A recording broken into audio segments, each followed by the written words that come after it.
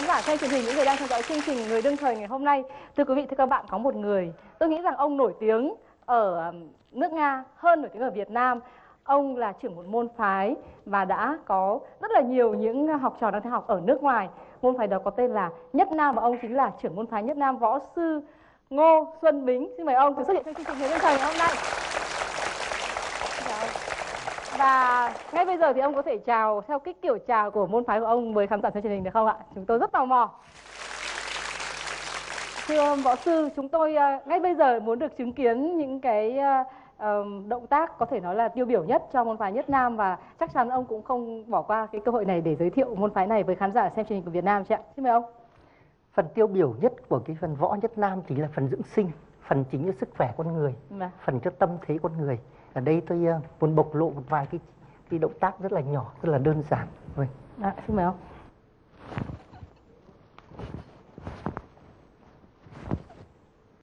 Tôi uh, xin thực hiện một cái phần động tác mà người ta rất là thích đây là những cái tư thế của nhại là các con vật. Vâng. Vâng tôi thực hiện cái động tác của hổ. Rồi. bây giờ đến uh, rắn ạ. Vâng. À, vâng. con gà và cái động tác vừa rồi rất là gật trống ạ. Vâng và vừa rồi chúng ta đã thưởng thức những giây phút à, tôi nghĩ là rất là thú vị, rất là sôi nổi à, với những bài tập của võ sư môn phái nhất nam, ông ngô xuân bính và bây giờ chúng ta sẽ bắt đầu chương trình người đương thời.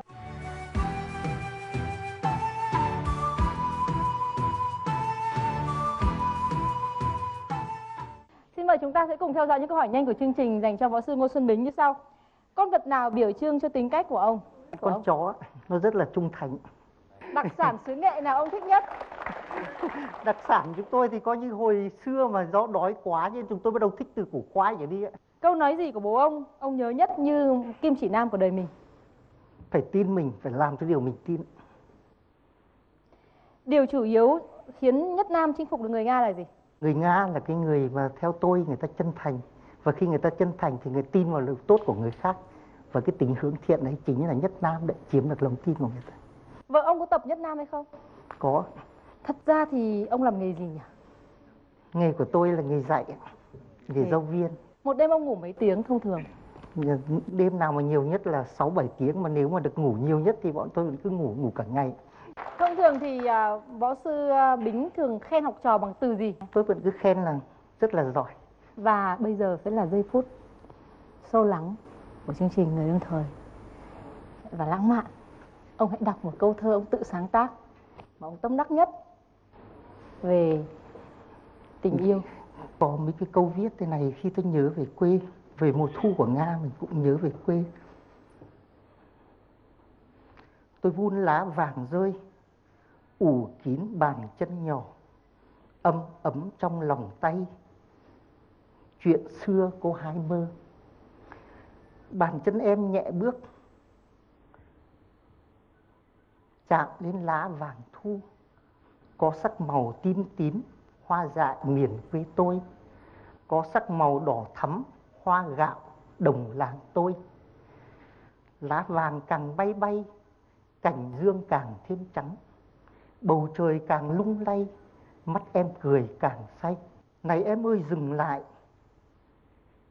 có ai đang nhặt lá kỷ niệm rơi ngày nào, kỷ niệm vương ngày nào?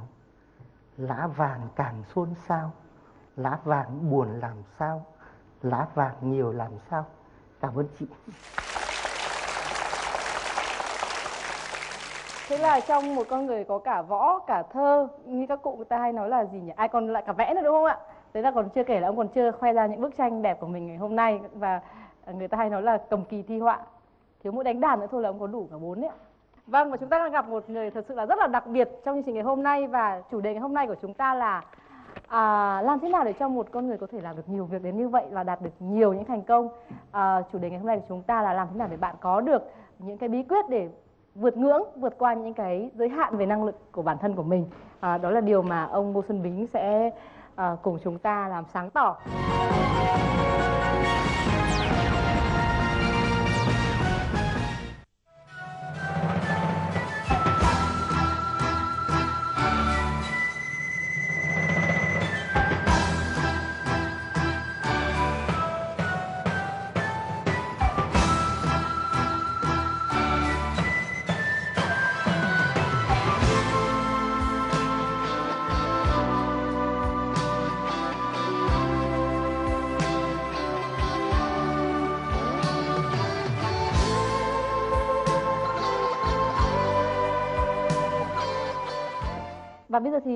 Khán giả xem truyền hình sẽ rất là tò mò ông bắt đầu tập nhất nam từ bao giờ vậy? Tôi không nhớ rõ lắm từ bé thì đã bị bị tập. Mẹ tôi không dạy nhưng mẹ tôi ép tôi. Vâng. và ai là thầy dạy võ đầu tiên của ông? Chính là bố tôi. Và hồi đó môn võ gọi là môn võ gì ạ? Muốn họ hét ạ. Hồi nãy chị thấy tôi cũng hét nha. Vâng. À. và lúc nào thì ông nghĩ rằng là ồ đây thực sự là một cái um, một cái môn võ rất là hay và mình phải phải phải biết nhiều hơn về nó cũng như là ờ, làm cho làm cho mọi người tập nó nhiều hơn. Phải bắt đầu đến những năm cấp 2 thì khi nghe các bài lịch sử thì lúc ấy tôi bắt đầu ý thức dần Dạ. gần như tất cả những người học lịch sử thì đều thấy là chúng ta có một cái truyền thống chống ngoại xâm. Trong các bài lịch sử đều nói đến tất cả cái võ công hiển hách của các các cái vị anh hùng của ông cha chúng ta. Và những cái vị anh hùng không chỉ nằm trong lịch sử mà nhiều khi nằm cả trong mơ của chúng tôi. Và sau đó những cái năm tiếp theo thì khi mà tôi phát triển cái môn võ này là hồi ấy, nếu mà Hà Nội lúc tôi mới 20 tuổi thì tôi hồi ấy học ở trường phạm nhạc họa thì làm thế nào mà các bạn tôi để có thể ngay từ đầu tin tôi được? Mà thường buổi tối, buổi sáng tôi ra tập ở sân, và vì vậy mà cũng có một số bạn ra sớm như tôi. Thì họ bắt đầu tò mò, và khi tò mò thì cũng muốn học một tí, và khi học thì muốn thử nhau một tí. Ở cái tuổi chúng tôi thử nhau và thấy tôi thắng được họ thì họ bắt đầu theo học. Và sau đó tôi ra học ở đại học mỹ thuật thì tôi cũng tập võ vào những cái lúc nó rỗi và lúc nó quan tâm, tức là nó muộn một tí, sớm một tí, thì bắt đầu các bạn ở ở mỹ thuật cũng bắt đầu có một số bạn quan tâm. Và các cái họa sĩ, người ta có tính cách mạnh. Những người nào tính cách hơi nhược một tí thì họ cũng thích, nhưng tính cách mạnh họ bắt đầu cũng học. Và sau đó thì lan dần lan dần đến cái mức mà khi mà ở hội hội hội võ thuật của Hà Nội tổ chức các cái biểu diễn thì chúng tôi tham gia. Và ngay từ đầu họ đã thấy rất là lạ. Và các anh ở tổng cục thể dục, thể thao các anh cũng quan tâm và vì vậy mà tôi có trình bày cho các anh. Lúc đầu thì trình bày từ những cái anh là đứng đứng đứng phụ trách môn võ vật thôi. Sau đó thì được các anh viên tổng cục và họ xem chúng tôi. Và hồi tôi đến phòng các bác các bác bảo thôi không cần nói lý thuyết gì cả. Thôi các bác cứ gọi cậu cậu cứ cởi áo quần này cậu cứ thử để xem thế nào.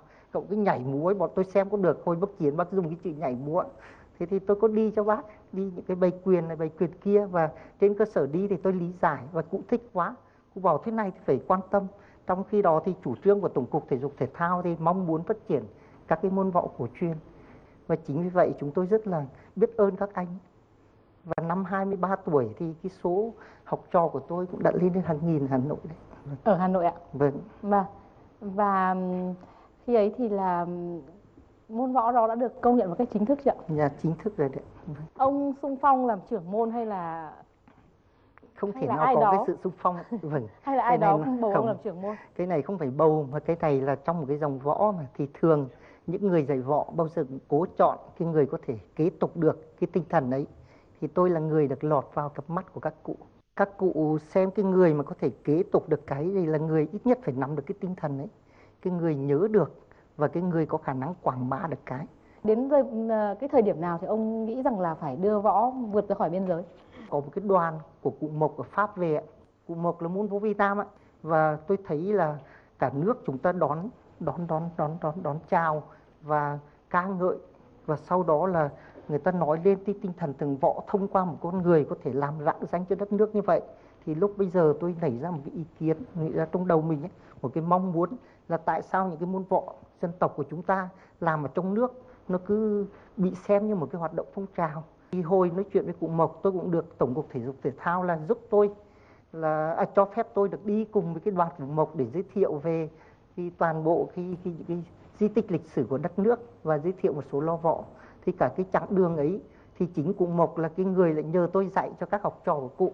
Và sau đó thì cụ có làm cái dây mời là mời tôi sang Pháp và có hồi có cánh buôn ở đấy. Đó là đề nghị tôi là cụ bây giờ già rồi cậu có khả năng năng thế này. Đề nghị cậu sang Pháp để thay cho cụ Mộc giữ cái vị trí ấy để phát triển cái môn võ của Việt Nam. Và sao ông không đi Pháp ông lại chọn đi Nga? Tổng cục hồi không cho đi ạ. cảm ơn ông. Còn bây giờ thì chúng ta cùng nhìn lại những ảnh tư liệu của ờm, võ sư Ngô Xuân Bính tại nước Nga. Đúng hơn là tại à, một số nước cộng hòa của à, liên bang Xô Viết cũ những năm 90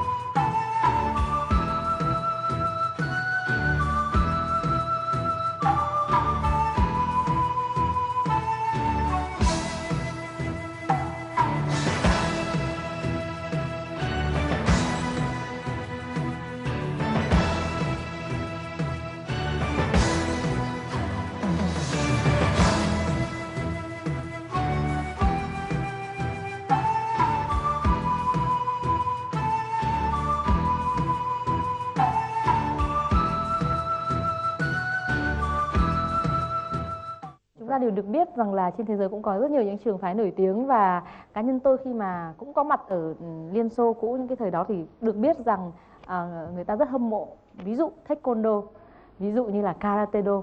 Và ở bên nước ngoài thì tôi chả bao giờ nghe thấy người ta nhắc đến võ vi nam hay là nhất nam gì cả. Ờ, thì đó là một cái điều mà tôi cũng rất là tò mò muốn hỏi ông là ừ, cái thời gian đầu ấy thì ông đã làm thế nào để cho nhất nam được quan tâm. Có vâng. ba yếu tố cơ bản này. Vâng. yếu tố thứ nhất là cái tính vật chất của người tây mà họ muốn là anh cứ nói gì nói có thể làm cho tôi ngả không? Anh có nói gì thì nói mà anh phải làm cho cho cho cho tôi sợ anh thắng được tôi của tôi cơ. Còn yếu thứ hai nữa là khi mà chúng tôi dạy nó không phải chỉ vấn đề chân tay vấn đề về cái bày quyền này bày quyền kia mà chúng tôi truyền cái tinh thần vào đấy. Cái tinh thần đấy chính là là cái cái cái, cái tư tưởng triết học nó nằm trong võ. Đấy là một cái lối sống quan điểm sống và cái khả năng có thể chế ngự được mình. Thế thì những người mà người ta thích thú về cái triết học phương đông thì người ta tìm thấy ở đây. Còn vấn đề thứ ba nữa là chính chúng tôi gần như kiên nhẫn và sự kiên nhẫn đấy và lòng tin đấy đã thuyết phục họ. Ví dụ là trong cái giai đoạn này người nga cũng khó khăn và nhiều người ta bắt đầu người ta cũng bận tâm đến cái việc kiếm sống. Thế mà nhiều khi chúng tôi cứ đến lớp, rồi nhiều khi chúng tôi phải gọi điện thoại khi mà thấy anh ta không đến và cái việc ấy nó làm cho người ta bắt đầu yêu quý chính chúng tôi hơn và thấy được cái tấm lòng của người thầy hơn cái sự nhiệt năng nó truyền đến cho trò trò của vâng. chúng tôi trong cái giai đoạn đầu ấy ừ. là rất nhiều ở các cháu thì các cháu nhỏ mà khi học võ thì các cháu học cái nhất nam chẳng hạn thì tự nhiên bố mẹ cháu phải đưa các cháu đi học hay là anh em cháu phải đưa cháu đi học hay là các cháu học về thì các cháu tác động đến những người xung quanh những người xung quanh người ta lan tỏa cho người xung quanh tiếp và vì vậy mà quân số nó cứ nhân lên thế nhưng mà thế thì tôi hình dung cái chặng đường 10 năm uh, truyền bá nhất nam của ông xem ra là đúng là như người ta nói là con đường bơ sữa. Nào là cái trưởng tập này nào là vâng, bao nhiêu người không tập? thể gọi là bơ sữa. Bơ sữa làm thế nào mà chúng tôi phải thức đêm thức hôm? Bởi vì trong cái quá trình tập võ và dạy võ nó không thể nào có một cái quỹ là cái quỹ là quỹ như kỷ hành chính bây giờ chẳng hạn. Người ta ngoài giờ giải lao người ta mới có thể tập được ngoài giờ nghỉ người ta mới tập được. Hoặc người ta ngoài cái giờ học tập người ta nghỉ được. Và đối với cái tốt này chẳng hạn thì người có thể tập được buổi sáng cái nhóm này có thể tập được buổi trưa nhóm này tập buổi chiều. Chúng tôi có được một cái đội ngũ như vậy là dành hết tất cả thời gian. Và những cái giai đoạn đầu có những ngày tôi phải dạy đến 8 buổi 9 buổi. Có những lúc mà tôi phải dạy trên chục lớp ạ. Cùng một lúc? Cùng một lúc vâng. Vâng. Vâng và chắc là quý vị khán giả thân truyền hình lúc này cũng rất là tò mò muốn biết là những ờ, người nước ngoài ở các vùng ờ, của các nước cộng hòa Belarus, Ukraine và Liên bang Nga thì nói gì về môn nhất nam ở một đất nước Việt Nam xa xôi chúng ta hãy cùng theo dõi Trước khi đến với Nhất Nam, tôi đã tập luyện và nghiên cứu rất nhiều môn võ cổ truyền phương Đông. Tuy nhiên, tôi thấy tất cả những điều mình cần biết về võ thuật, triết học, lối sống, các giá trị văn hóa quý giá của phương Đông đều có trong tri thức của võ phái. Do vậy, tôi thấy mình không cần phải đi đâu để giác ngộ nữa. Chúng tôi mở cửa cho nhiều đối tượng trẻ em khác nhau về lứa tuổi, tố chất, trạng thái sức khỏe. Trong khi đó, nhiều câu lạc bộ thể dục thể thao khác thường từ chối nhận các em không đạt tiêu chuẩn thể lực. Ở Nhân Nam, các em không chỉ học cách tự vệ chiến đấu mà còn tập luyện để tăng cường sức khỏe, chữa trị bệnh tật, rèn luyện tính kỳ cương, đoàn kết, lối sống lành mạnh. Đặc biệt, hoạt động thể chất này còn giúp các em có tinh thần, động lực cao trong học tập và giành nhiều điểm năm. Những cuộc tiếp xúc với người như ông Ngô Xuân Bính luôn tràn đầy niềm vui sướng. Còn việc được thầy trực tiếp truyền thụ khiến tôi có cảm giác hạnh phúc vô bờ. Kỹ thuật của môn phái làm chúng tôi rất ngạc nhiên. Ở đây điều kỳ diệu khó có thể mô tả bằng lời. Nó là giá trị quý báu được hun đúc qua nhiều thế hệ. Như vậy là ông đánh giá thế nào về cái sự lan tỏa của Nhất Nam? À, nó đã đạt được à, cái độ lớn à, đúng như ông mơ ước không hay là hay là nó chưa đạt được như là ông mong muốn. Cái mong ước bao giờ cũng lớn hơn cái làm được chị vâng. làm được. Nhưng mà bọn tôi rất là là là là tự tin với mình và bọn tôi cảm thấy những điều chúng tôi làm nó không vô ích.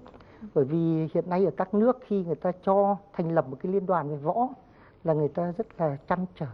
Đặc biệt là trong những cái giai đoạn như thế này khi mà đề bạo lực và thường là những cái nhóm bạo lực ấy là nhiều, rất nhiều nhóm là lấy những cái người đang tập võ rồi những cái nhóm mafia cũng là những nhóm mà có những người rất giỏi về võ. Nên cái việc mà để có một quyết định thành lập một cái liên đoàn xã hội ở một cái cấp quốc gia là không phải đơn giản. Và chúng tôi đã làm được cái điều ấy. Vâng, xin cảm ơn ông. Còn bây giờ thì chúng ta sẽ cùng chuyển sang một đề tài khác. Chúng tôi xin mời ông tham gia một bài tập của chúng tôi. Và bài tập này là bài tập phải tư duy chứ không phải dùng cơ bắp ạ. Ông sẵn sàng chưa ạ? Vâng. màu đá cuội cát và xoài màu bây giờ thì bài tập của ông thế này trong vòng một phút ông hãy nghĩ cách để đưa tất cả những thứ trong đĩa vào cái lọ này Vâng. đây nhưng mà trước khi ông thực hiện thì tôi sẽ cho ông một gợi ý nhỏ Vâng. ông hãy cầm vào ông hãy đọc tờ giấy này đã bây giờ ông hãy ra phương án 1 trong vòng một phút mời ông Chắc là phải đổ cát, sau đó thì bỏ cuội. cuội Và sau trắng đó này thì bỏ cái kia. và Vâng. cuối cùng là đá to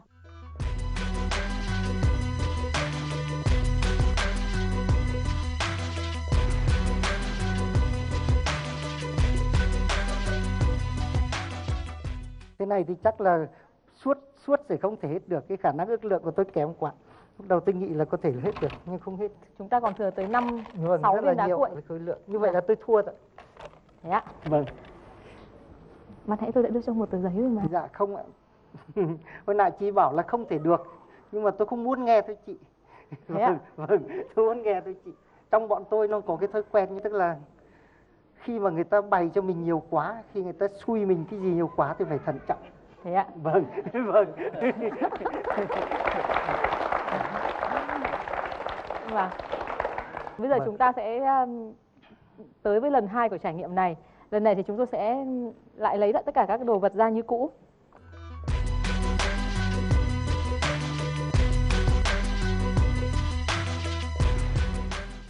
Ờ, trước khi ông bắt đầu tôi lại đưa cho một tờ giấy ạ. Xin mời ông hãy đọc. Vâng, cảm ơn chị.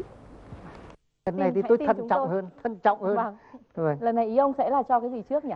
Dạ có lẽ phải quậy to trước, sau đó thì dùng cái quầy nhỏ để ken tiếp, tức là cứ bỏ từng viên này, sau đó lại lại cho một ít quầy nhỏ, thế lại Vâng. bỏ từng viên cho quầy nhỏ, Vâng. rồi sau cuối cùng mới là cho cát. Nhưng mà thấy? Và bây giờ chúng ta hãy cùng à, cổ vũ một lần nữa cho ông Ngô Xuân Bính nào. vâng.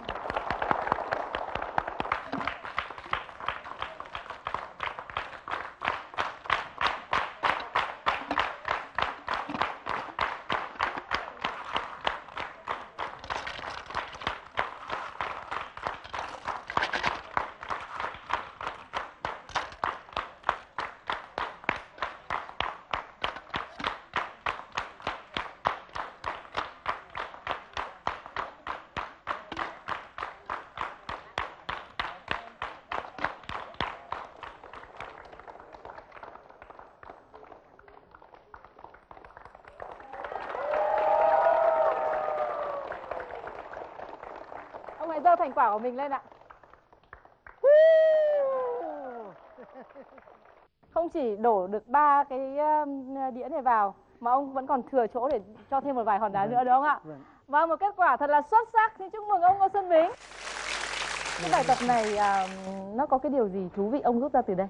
Ông có bị ảnh hưởng bởi cái tờ giấy đầu tiên tôi đã đưa cho ông không ạ? Ông có, nhớ Có. là tôi đã đưa cho ông tờ giấy Có. gì không và tờ giấy Có. nói gì? Để Vâng, cho tờ giấy, xem. tờ giấy này viết là bài toán này anh không thể giải được. Vâng. Vâng. À, tôi muốn hỏi là lần hai thì ông nhận được à, một cái gợi ý gì từ phía tôi ạ? Hãy vận dụng tư duy logic anh sẽ giải được.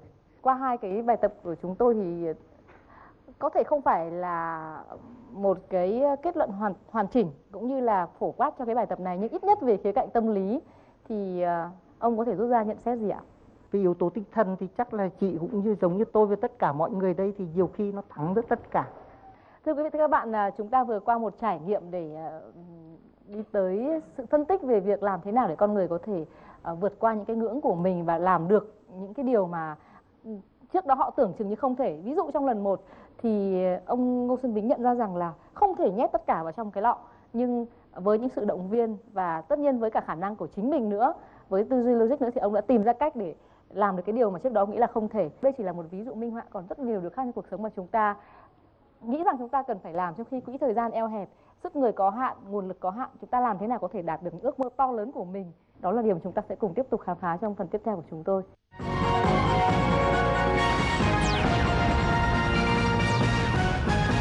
Ngoài võ thuật thì à, ông Ngô Xuân Bính còn à, được biết tới với những cái công trình à, viết về châm cứu và đặc biệt là công trình viết về chữa bệnh huyết áp bằng châm cứu. Đó là những cái công trình rất là đồ sộ và Vâng, tôi thực sự rất là tò mò muốn biết là ông đã bắt đầu nghiên cứu y học từ bao giờ? Hồi là tôi ờ, học lớp 9 và hồi là những cái năm ấy là nhà nhà nhà y tá nhà hộ lý mà của các cái xã của các cái vùng sâu vùng xa là rất là xa. Thì cái kỷ niệm lớn nhất là chính là cái bà ấy, là chủ nhà của tôi. Thì, thì hồi bọn tôi đứng học thì đứng học ở bàn tôi đứng học ở bàn thì ông chồng bắt đầu hò hét cuống cả lên. Chính là vợ ông ấy cái người vợ của ông là lúc bây giờ là cứ đầm đìa tôi xin lỗi là đầm đìa máu cả ra. Và tôi thì lúc ấy cứ cuống cả lên thì ông dục cái gì thì tôi làm cái. Và bây giờ tôi không nhớ chính xác nữa tức là làm hoàn toàn theo bản năng như vậy. Và tôi cả tôi và cái ông ông, ông chủ nhà cứ cuống cuồng cuồng như vậy và cuối cùng đỡ được cháu bé. Thì bây giờ nhớ chi tiết từng chi tiết thì không có nhưng mà cái ấn tượng mạnh nhất là ông tưởng là tay chân run rồi máu me rồi sợ rồi đủ các thứ như vậy và cuối cùng đứa bé sống và mẹ cháu thì sống. Và đấy là một kỷ niệm mạnh nhất kỷ niệm có thể là không thể quên được ở cái tuổi trẻ con như vậy. Và vì những cái ấn tượng như vậy nó nuôi cho tôi nó làm cho tôi sung sướng. Và chính có lẽ là đấy là những cái việc mà giúp cho tôi sau này đi sâu vào nghề y. Vâng. À, thế tại sao ông không trở thành một à, bác sĩ sản khoa chẳng hạn hoặc là một bác sĩ khác ví dụ như là nội khoa hay là mổ xẻ cũng được mà lại đi theo con đường châm cứu châm cứu là bởi vì cái nó liên quan đến cái võ những người tập võ người ta đều biết đến cái vị trí chúng ta gọi là huyệt. Cái điều này thì tôi nghĩ người Việt Nam của chúng ta thì tin. À, và bởi vì chúng ta đã chữa rất là nhiều bệnh rất là thành công bằng phương pháp châm cứu. Nhưng với những cái người dùng dùng ở Tây y như là Belarus, Ukraine và Liên bang Nga thì ông đã thuyết phục họ như thế nào? Ạ? Học trò của tôi thì quá trình tập võ và khi mà chúng tôi lên đến khoảng 50 cháu, trăm cháu, trong đó có em nhỏ, có người lớn thì quá trình tập võ thì sẽ có những em nó đau đầu, có những em nó đau tay, có những em nó bị sái chỗ này chỗ kia. Và cái quá trình chữa cho lúc đầu thì tôi chỉ giúp các em thôi. Và giúp các em thì tự nhiên nó có cái hiệu quả nó cao như vậy thì họ rất là ngạc nhiên. Mà và trong số những người tập cũng là có một số bác sĩ. Và những người bác sĩ ấy họ thấy rất là lạ. Chỉ với một vài cái động tác một vài cái dây chỉnh như vậy mà lại có hiệu quả. Thế cuối cùng chúng tôi bắt đầu trao đổi dần với nhau. Và những cái bác sĩ họ cũng quan tâm những cái việc này và như thế chúng ta lại thấy một cái cơ chế lan truyền giống như là với võ thì à, châm cứu đã được à, lan truyền theo cơ chế truyền miệng, đúng không ạ? Cái người này nói với người kia và nó đã chinh phục được rất nhiều người cho tới mức mà một ngày kia thì ông Ngô Xuân Bính đã xuất bản được những cuốn sách và được người Nga công nhận. Đó là một cuốn sách rất đồ sộ có tên là tăng huyết áp các chứng liên đới. Một cuốn sách rất nặng. Đồng thời thì ông cũng à, được phong các cái danh hiệu các cái danh vị um, đó là danh vị uh, giáo sư và viện sĩ và xin ông có thể ờ, nói rõ hơn là giáo sư uh, do uh, đơn vị nào và viện sĩ là do đơn vị nào phong tặng ạ? Cái hàm giáo sư là do chính cái tổ chức cao nhất về y tế cổ truyền của Nga họ tặng. Còn sau này thêm được cái học hàm về về viện sĩ là tức là do cái viện Hàn Lâm khoa học tự nhiên châu Âu phong tôi học hàm này. Vâng thưa ông và chúng tôi có đọc những cái tiêu chuẩn chức danh phong giáo sư, phó giáo sư và các quy định xét công nhận chức danh giáo sư, phó giáo sư ở Việt Nam. Chúng tôi thấy vô cùng là phức tạp và cả cái quy định này dài đến 8 trang. Vâng. Um, trong này có yêu cầu về các bài báo này rồi những uh, số lượng các cái chương trình giảng dạy này rồi là các công trình khoa học này vân vân vân vân tôi thấy rất là kinh khủng. Thì uh, liệu là cái việc phong của ông là có phải là một cái sự uh, đặc cách không hay là nó cũng đúng theo những cái tiêu chuẩn như của Việt Nam như ở đây ạ? Có thể ông nó vừa qua. có những tiêu chuẩn này lại vâng. vừa có cái đặc cách ạ. mà có một cái cái, cái cái đặc cách như thế này là bởi vì đây là một cái công trình mà nó viết nó đưa ra nhiều cái hướng rất là mới rất là mới mà lại có tính hiệu quả rất là cao. Ông muốn nói đến quyển sách vâng, này được không vâng, ạ? Vâng, quyển sách này dạ. ạ. Thì uh, hiện nay theo cái hội đồng của của của của cái viện Hàn Lâm khoa học Nga chẳng hạn hay là của thế giới chẳng hạn thì người ta thấy rằng cái kết quả của cái công trình này nó có hiệu ứng chữa bệnh cho những cái người bị bệnh huyết áp ấy, lên đến con số 90%.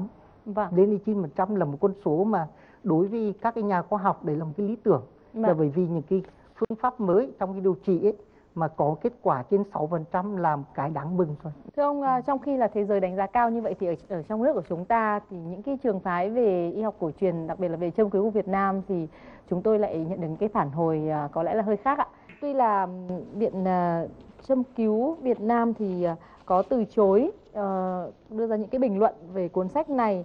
Tuy nhiên thì chúng tôi cũng có được một vài những cái ờ, ờ, ý kiến sơ bộ ban đầu của họ như sau à, các chuyên gia đầu ngành của viện châm cứu thì có nhận xét rằng ở trong này thì không đưa ra được những cái tọa độ huyệt và sách thường dùng những cái từ uh, như là khoảng và có thể thì uh, rất là chung chung uh, vậy thì um, tính ứng dụng trong thực tế đến đâu khi mà chúng ta không chỉ ra được những cái vị trí chính xác để mà uh, uh, châm cứu. Uh, đó là ý kiến thứ nhất.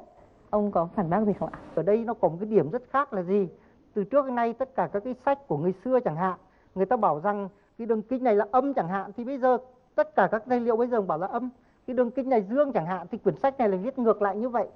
Hoặc là hồi xưa bảo rằng cái huyệt là cố định hoặc là đường kinh là cố định. Và vì vậy mà tất cả các cái sơ đồ huyệt vị ở những người cơ thể khỏe mạnh ấy, khi về trên tất cả các bản đồ và người ta ứng dụng vào trong quá trình chữa bệnh thì người ta cũng dựa trên cái sơ đồ ấy. Nhưng mà người ta không thấy rằng là khi cơ thể bị ốm đau ấy, thì nó sẽ có những cái nguồn năng lượng dương có thể vượng lên, những cái nguồn năng lượng âm có thể yếu đi hoặc ngược lại hoặc có lúc suy kiệt. Vì vậy mà cái toàn bộ cái công trình này nó mới và được người Tây người ta quan tâm, người người các nhà khoa học phương Đông ở à, phương Tây người ta quan tâm chính là anh đưa ra những cái cơ sở lý thuyết mới và có tính lập chứng cao. Đó là cái gì? Khi cơ thể bị bệnh này, bệnh khác, tùy theo từng nhóm bệnh thì các đường kinh sẽ xây dịch. Và các cái vị trí đạo, vì vậy cũng xây dịch theo cái vị trí, theo cái chuyển động của đường kinh ấy. Vì vậy mà với những nhóm bệnh khác nhau, với cái tạng bệnh khác nhau thì phải xác định một cái hệ thống xác định bộ huyệt khác đi. Và và quyển sách này nó thành công chính là những cái như vậy. Nhưng mà tôi thấy nó lại hơi bị uh, có một chút mâu thuẫn. Tức là ông nói là uh, những cái huyệt ở đây được vẽ một cách chính xác một cách toán học là tọa độ bao nhiêu. Thế thì ông lại vừa đưa ra một cái ờ, cơ sở mới. Ông một cái lý thuyết mà ông nói rằng là bản thân những cái huyệt này nó không cố định mà nó lại di chuyển. Vậy thì làm sao chúng ta có thể có vị trí vì chính vậy xác mà tôi này tôi mới nói là với những nhóm bệnh khác nhau thì phải có một cái hệ thống xác định khác nhau và vì vậy mà từng nhóm bệnh ở đấy thì tôi bắt đầu xác định một cái hệ thống xác định bộ huyệt khác đi Vâng, à, chúng tôi thì không phải là những nhà chuyên môn cho nên là đành phải nhờ đến các nhà chuyên môn.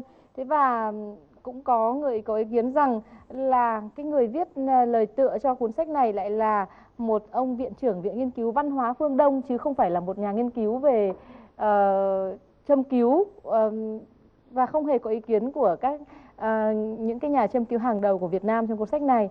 Như vậy thì ở đây cũng đặt ra một câu hỏi À, đây là quyển tôi. sách tôi xin nói với chị toàn bộ cái công trình này được viết ở Liên Xô ạ. và ở trong này có hai cái hai cái, cái tổng quan đánh giá đầu tiên tổng quan đánh giá để ra quyển sách này chính là cái hội đồng y học của nga ừ.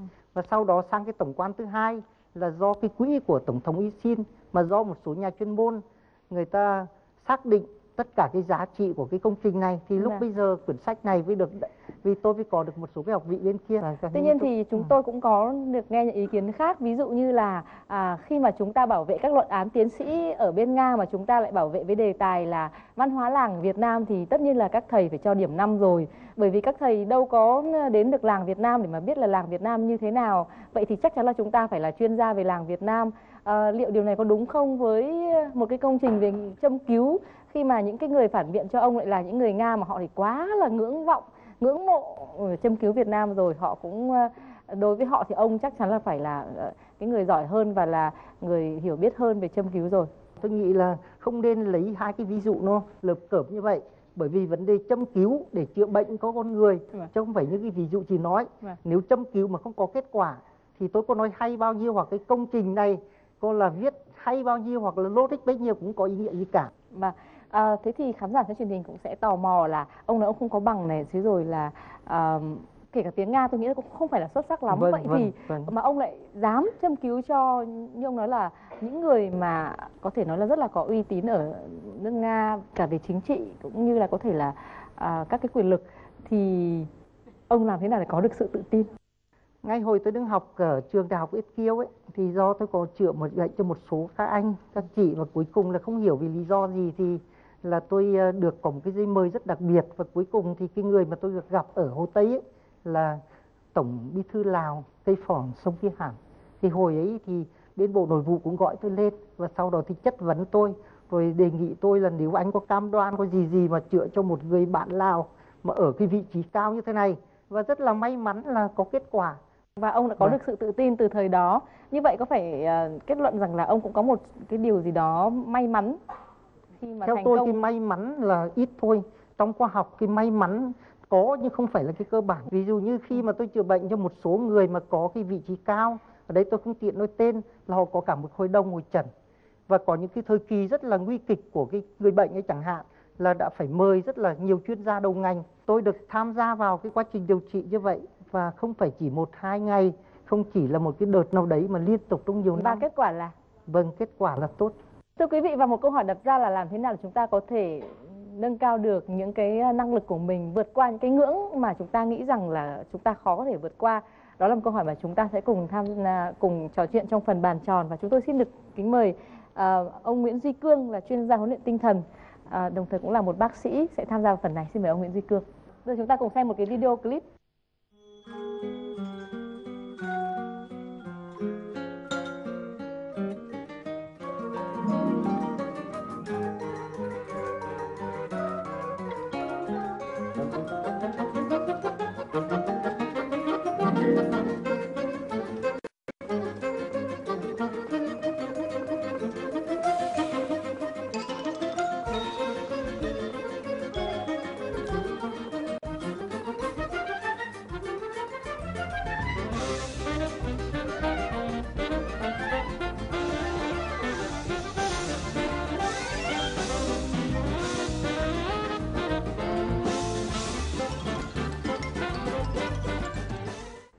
Rồi là một câu chuyện rất là nổi tiếng, chắc là anh Cương cũng đã biết. Câu chuyện này à, làm cho chúng ta rút ra được à, cái điều gì về việc những cái giới hạn mà chúng ta có thể đặt ra với chính mình để mà ngăn cản chúng ta đạt được những thành tích cao hơn thưa anh Cương? Về bản chất thì con người không làm cái gì mình biết, con người cũng không làm cái gì mình có thể làm mà con người thường làm cái gì chúng ta tin. Là mình có thể làm được. Ừ. À, cái đó thì nó gọi là đức tin.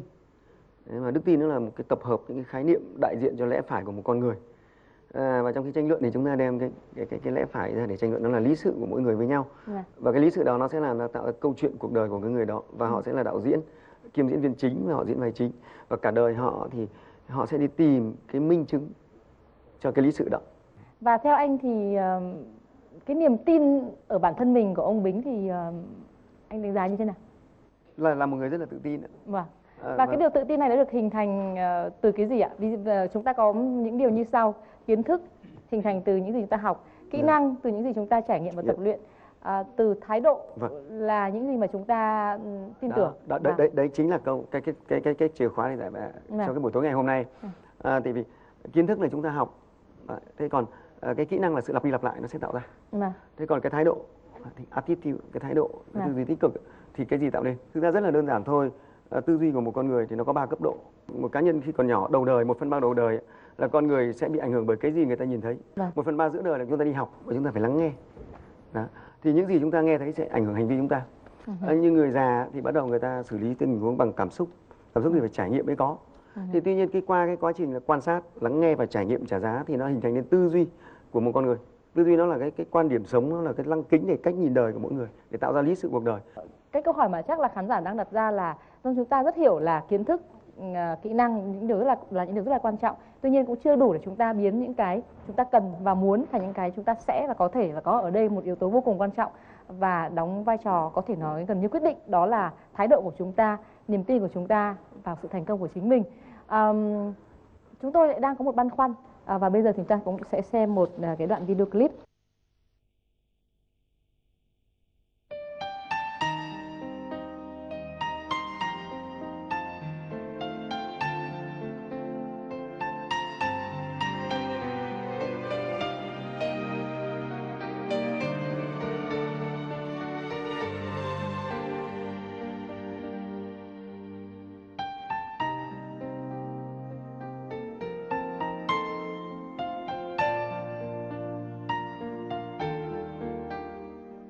Vâng, cái uh, hình ảnh này có gợi cho ông những kỷ niệm gì không thưa ông Ngô Xuân Bình?